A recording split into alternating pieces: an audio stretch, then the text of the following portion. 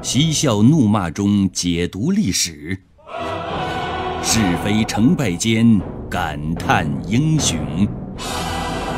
请听《汉朝那些事儿》。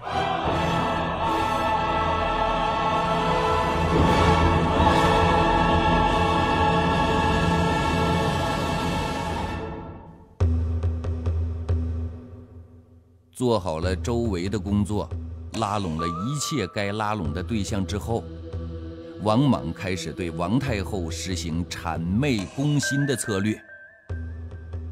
王莽见年逾古稀的王太后深居简出，就极为周到地安排她四十车驾巡狩四郊，存见孤寡贞妇，并且煞费苦心地为她筹划游玩地点。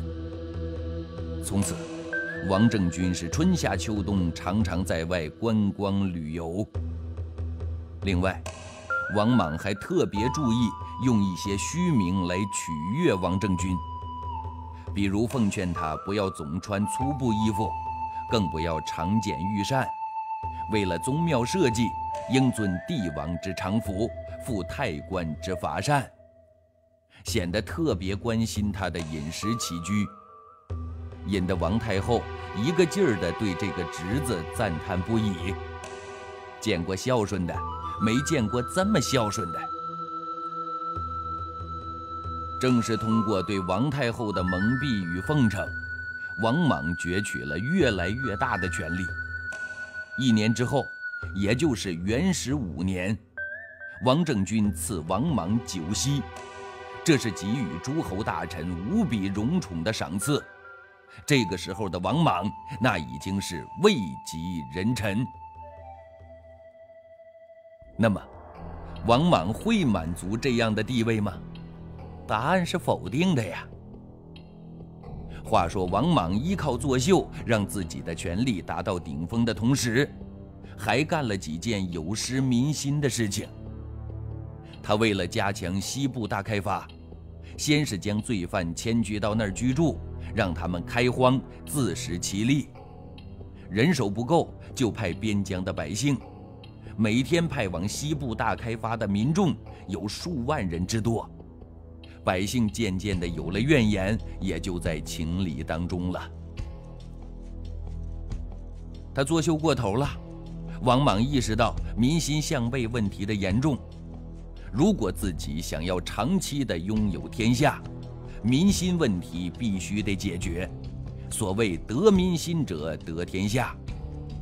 为此，他想出了一个绝妙的办法：前太仆王运等八人之父，假节分行天下，揽官风俗。汉宣帝和汉成帝时，也经常弄揽官风俗。但是他们官俗的目的，无非是为了了解民情、民意、民生这三民问题，查吏治得失，举茂才异能之士，为了更好的治理国家。而王莽官俗的目的明显与众不同，官俗是假，宣传王莽的德行才是真。以王运为首的官俗团为此在祖国山河之间悠哉悠哉，打着公费旅游的幌子，大吃大喝了一通。一年之后，八人官俗团满面春风地回到了长安，向朝廷复命，用六个字来概括：造歌谣，颂功德。王莽就乐了，随后给官俗八人直接封了侯。接下来就轮到七小虎的表演时间了。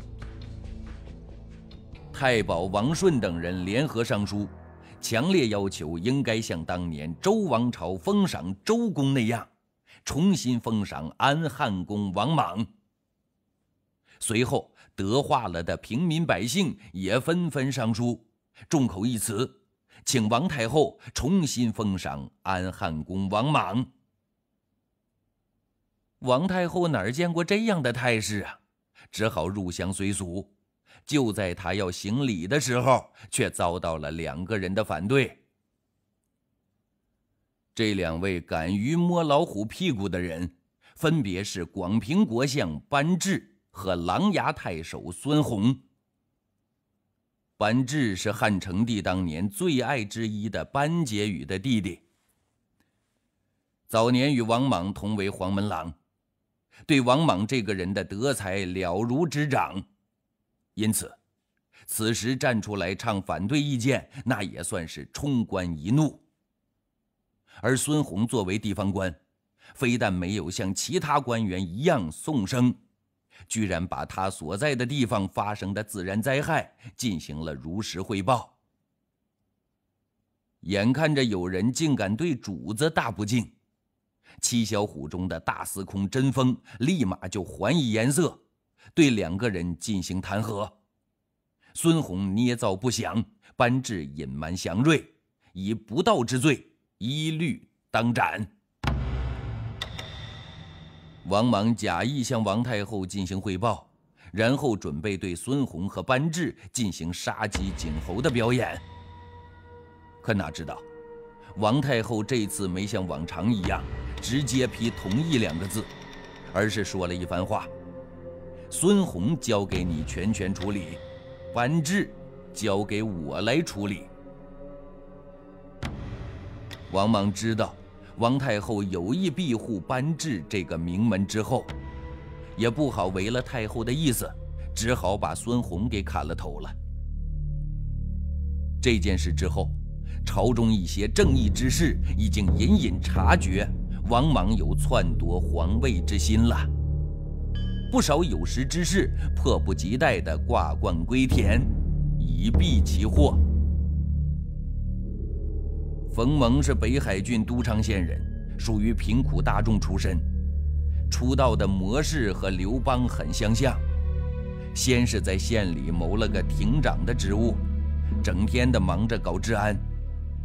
有一天，县尉下乡的时候，路过冯蒙的亭所，他就跪地相迎，结果县尉连句客套话都没有就走了，这让冯蒙感到很没面子，一怒之下。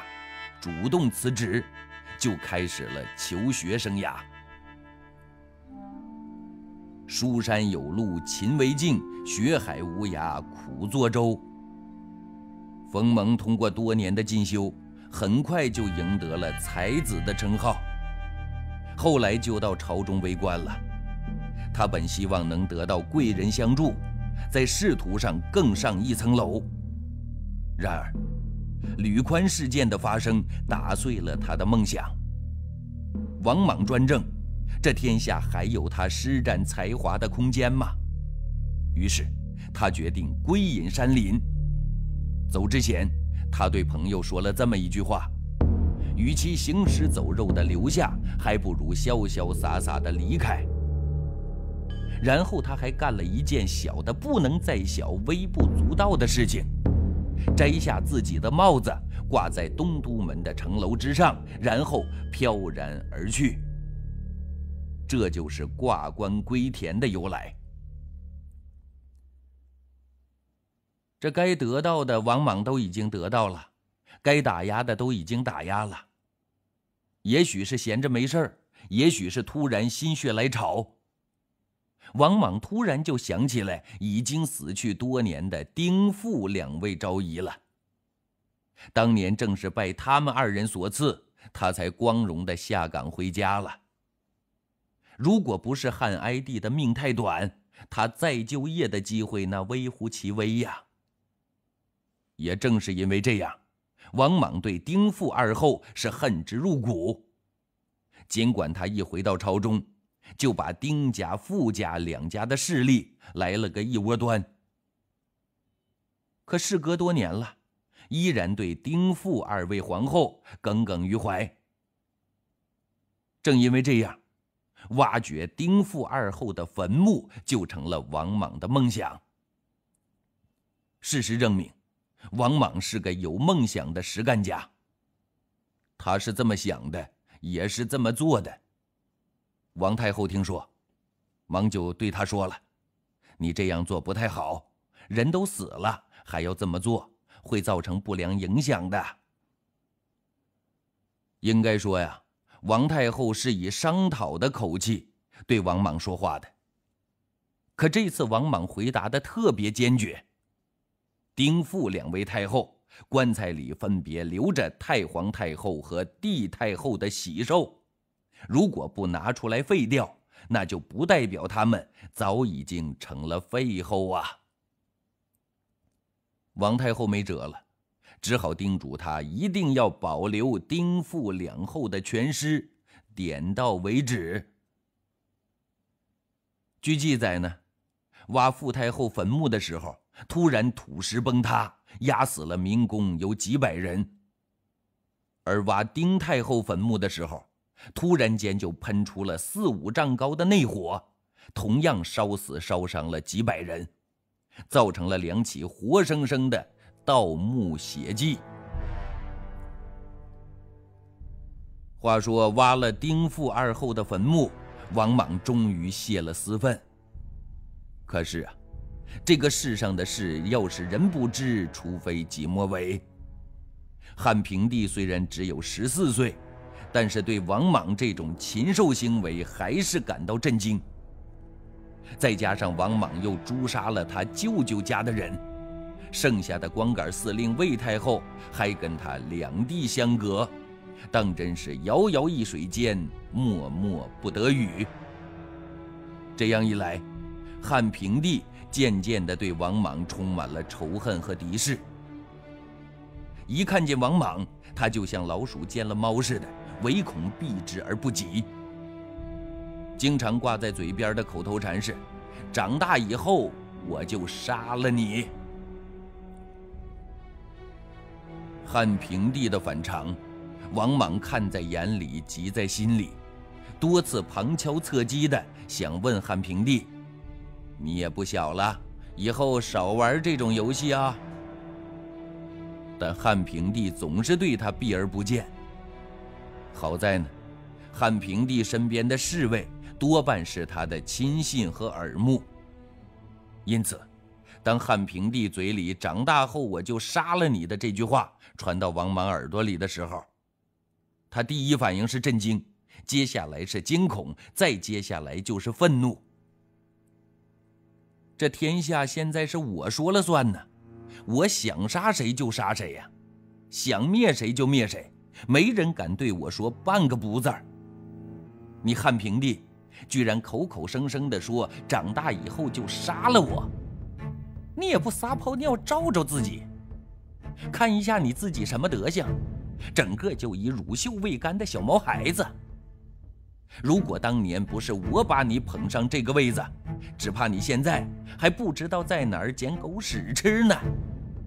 我能把你扶上皇帝的宝座，同样我也能把你踢进地狱。想到这儿，王莽的眼睛里边是充满了杀机。先下手为强，一直都是他的办事风格。消灭一切不安因素，才能确保长治久安。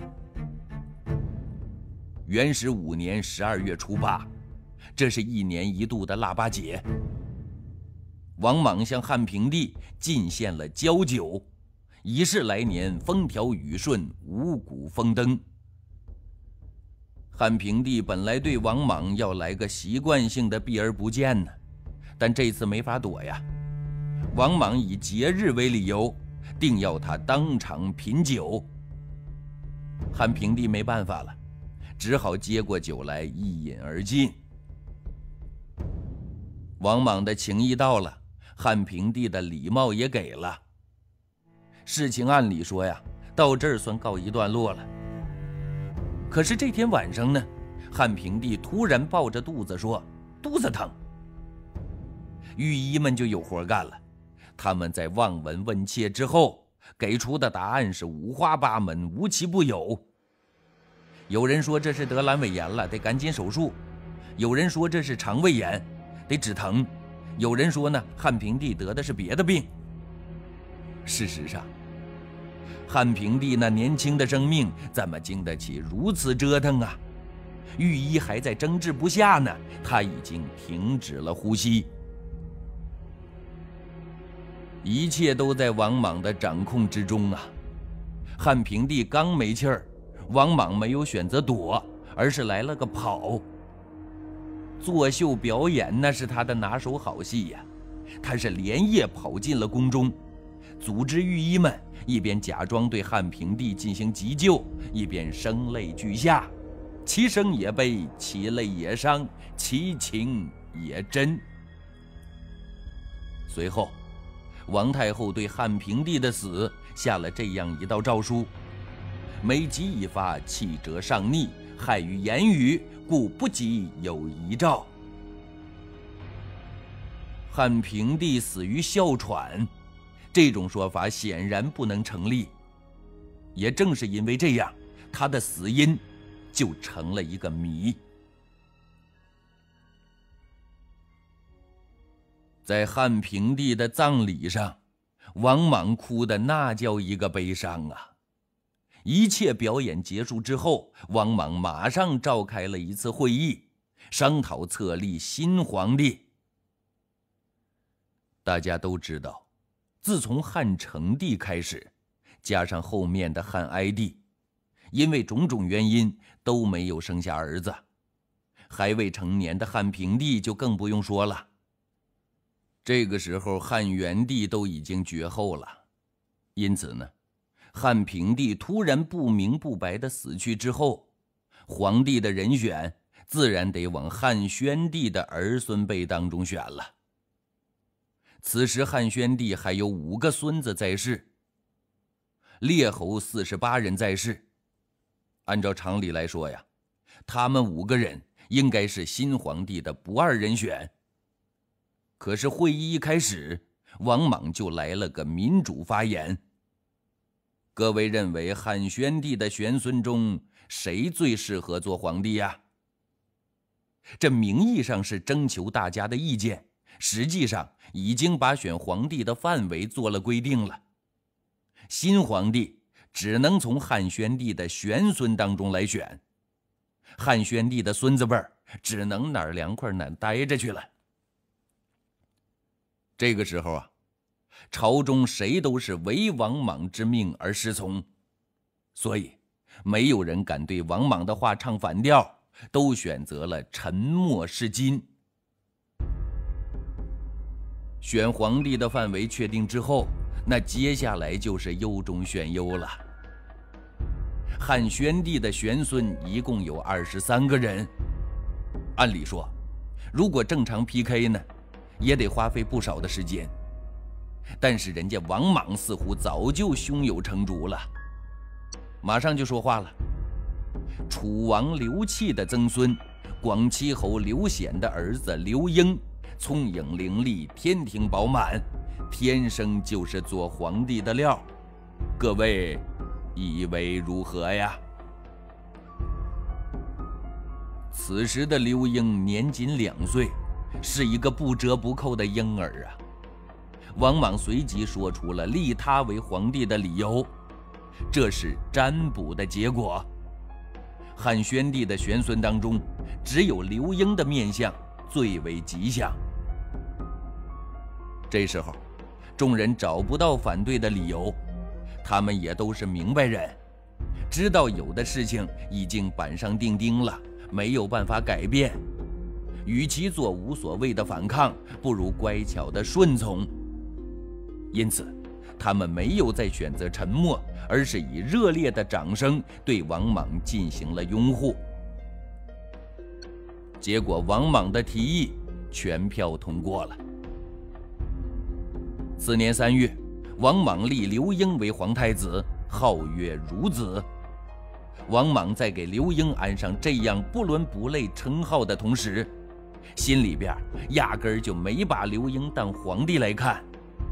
其实呢，他心里边在想着怎么给自己安一个响当当的称号。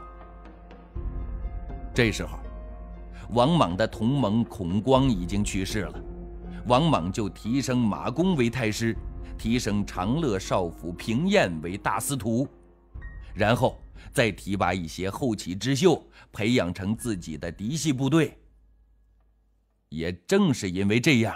朝中大臣对王莽那都是极尽巴结奉迎之能事。全陵侯刘庆首先站出来，打了一个报告，提议效仿周公辅佐项成王，让安汉公摄政。谢器也不甘落后，立马也打了一个报告，说在武功县的一个古井当中捞上了一块很特别的白色石头。这块石头太特别了，虽然不会流眼泪，但是它却会唱歌。因为石头上面有八个字：“告安汉公莽为皇帝。”